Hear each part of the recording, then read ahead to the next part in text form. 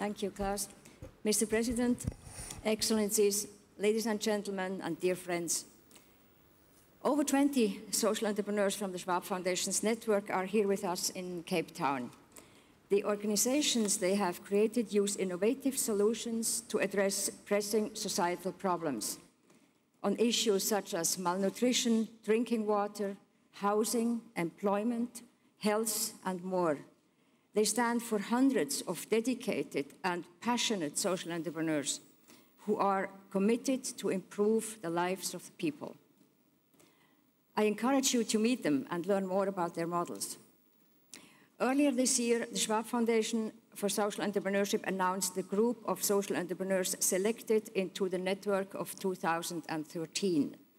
Five of these organizations are based in Africa, and it is with great pleasure that I will present their leaders to you now. You will see that they touch several points that have been discussed on the panel today, like infrastructure or mobile technologies. First, I would like to ask Frederick Day, Day from Buffalo Bicycles, Southern Africa.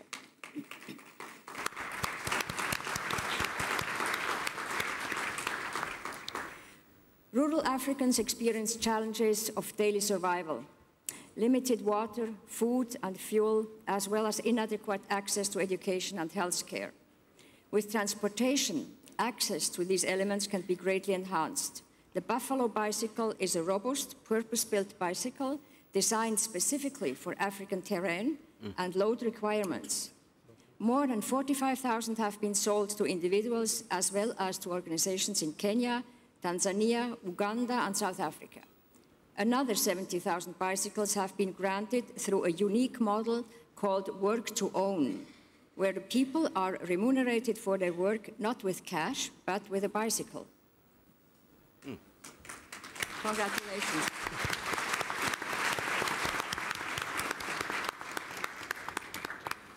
Well done.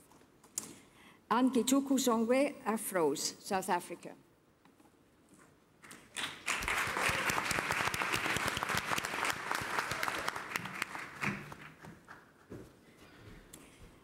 Afroes is working in uh, South Africa and in Kenya capitalizing on the massive mobile revolution in Africa to inform, connect, and educate youth.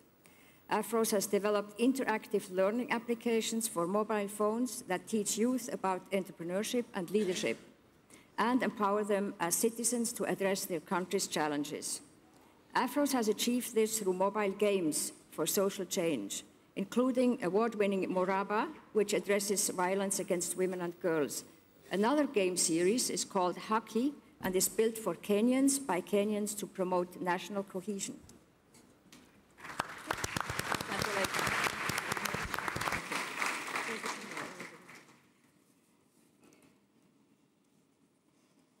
Njideka Harry, Youth for Technology Foundation, Nigeria.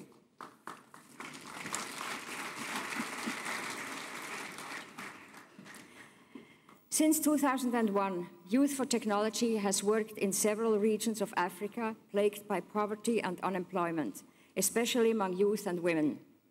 Youth for Technology's Academy provides young Africans with life skills and resources to join the economic mainstream. Since inception, 40% of the Academy's graduates have been employed by local companies in the organization's partner network, while another 40% have gone on to become self-employed. The Youth for Technology Foundation has impacted the lives of over 1.5 million youth in Nigeria, in Uganda, Cameroon, South Africa, and Kenya, and most recently in Colombia. Congratulations. Chuck Slaughter, Living Goods, Uganda. Living Goods seeks to reinvent how the poor access vital goods and services. The organization empowers networks of micro-entrepreneurs who go door to door, teaching families how to improve their health and living conditions while selling life-changing products such as simple treatments for malaria, clean cook stoves, and solar lights. By combining the best practices of microfinance, franchising, direct selling, and public health, Living Goods created, has created a fully sustainable system to improve health, wealth and productivity of the poor in Uganda. Congratulations. Last but not least, I would like to acknowledge One Acre Fund, also a 2013 awardee that uses an innovative market-based approach to enable poor farmers in East Africa to double farm profits in one planting season. They provide high-quality seeds, financing, weekly farm training, and post-harvest and market support. Its founder, Andrew Youn, was unfortunately not able to be with us today to accept the award, but I'm pleased that board member Tony Kalm is here to present the organization, to represent the organization in the many important discussions about agriculture taking place during the summit.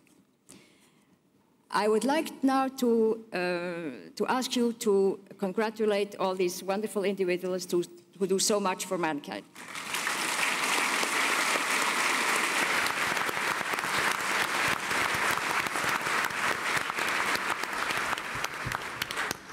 So, social entrepreneurs uh, whom we honor today stand for many uh, who are working on the ground to complement what we try to design as policies for the best development of this great continent.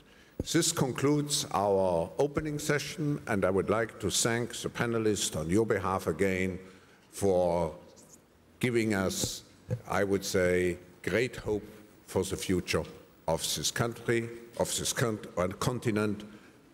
Not only hope, but I think they challenge us all to contribute to this journey which is ahead of all of us. Thank you.